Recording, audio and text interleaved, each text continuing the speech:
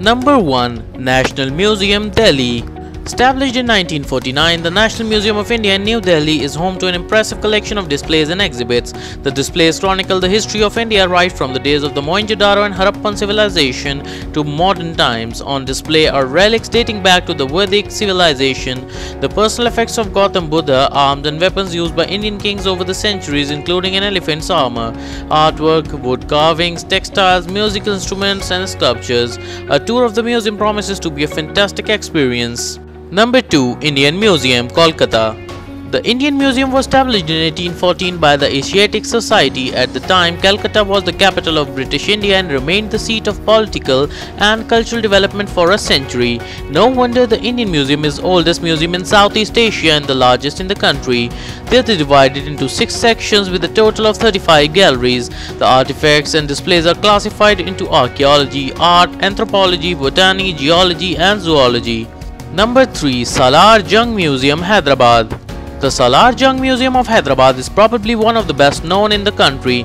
The museum was established in 1951 at the palace of Nawab Mir Yusuf Khan, popularly known as Salar Jung III. The museum houses a collection of over 1.1 million artifacts and art pieces, all personally collected by Salar Jung III himself. One of the best collections here is the Clock Room, a gallery of clocks and timekeeping devices from across the world from historical times.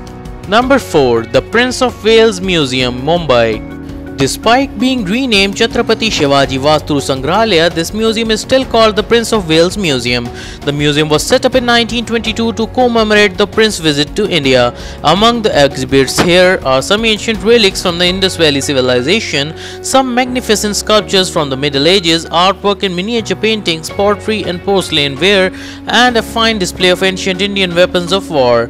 The dome structure in which the museum is located is a beautiful blend of Hindu, Islamic and British architecture and was designed by George Witt.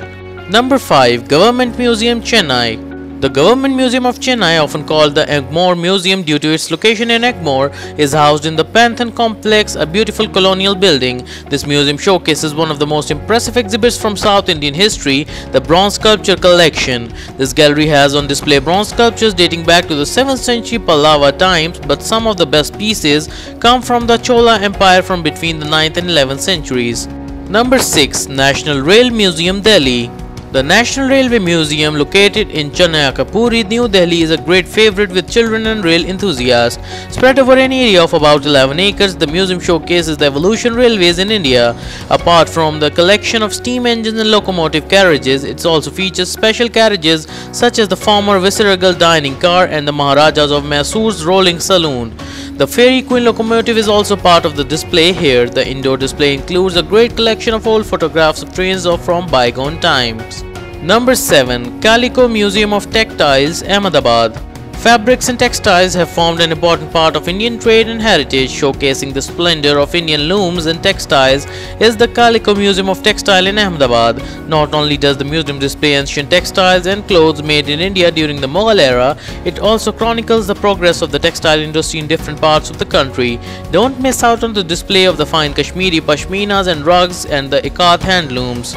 Number 8 Shankar's International Dolls Museum Delhi India is a land of dolls. They are used as idols, prop for stories, toys and for a number of culture purposes.